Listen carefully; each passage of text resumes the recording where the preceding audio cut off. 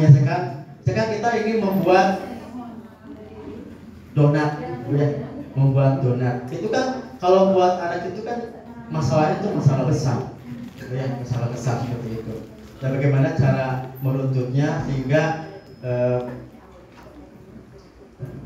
polanya itu bisa diselesaikan dengan eh, benar bu ya alurnya seperti itu. Seperti bagaimana menyiapkan bahan ya kemudian cara membuatnya kemudian cara menyajikannya dan lain sebagainya.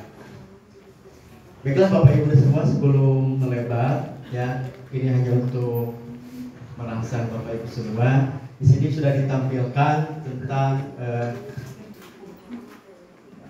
contoh mungkin jadi contoh gambar yang bisa diterapkan dalam pembelajaran di kelas bawah. Nah seperti itu ada kotak gue di sebelah kanan saya itu ada yang warna merah, warna hijau, kuning dan biru. Di tengah-tengahnya itu ada kotak. Nah jika jika kotak itu ditekan, ya, jika kotak itu ditekan satu kali, maka apa yang akan berubah?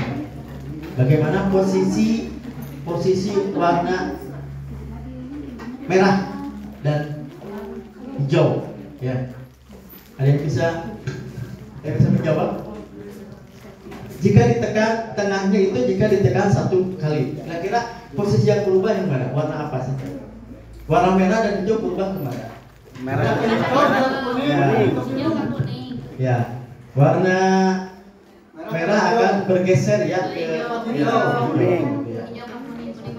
Merah ke kuning. Nah seperti itu ya, seperti itu eh, untuk pembelajaran Akan eh, komposatif itu di tulis sekolah dasar. Mohon di itu Pak, ada lagi.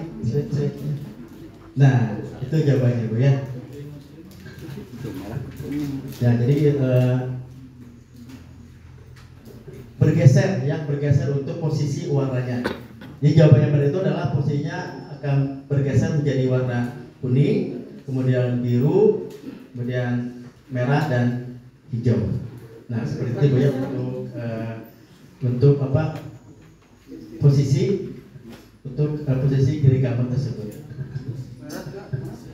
ulangi ulangi Hah? Jadi begini Bu ya untuk jadi pembelajaran komputer itu bukan pembelajaran yang berbasis IT ya seperti bagaimana disampaikan, tapi kita lebih kepada bagaimana eh, membelajarkan siswa Berarti gambar yang tidak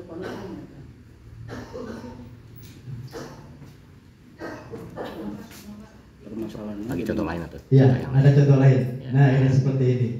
Ya, untuk yang eh, gerakan pertama yaitu ya untuk gerakan pertama cacing itu cacing ya. Kemudian ada eh, ada di lehernya itu ada garis tebal, garis tebal dan ada garis tipis ya. Kemudian eh,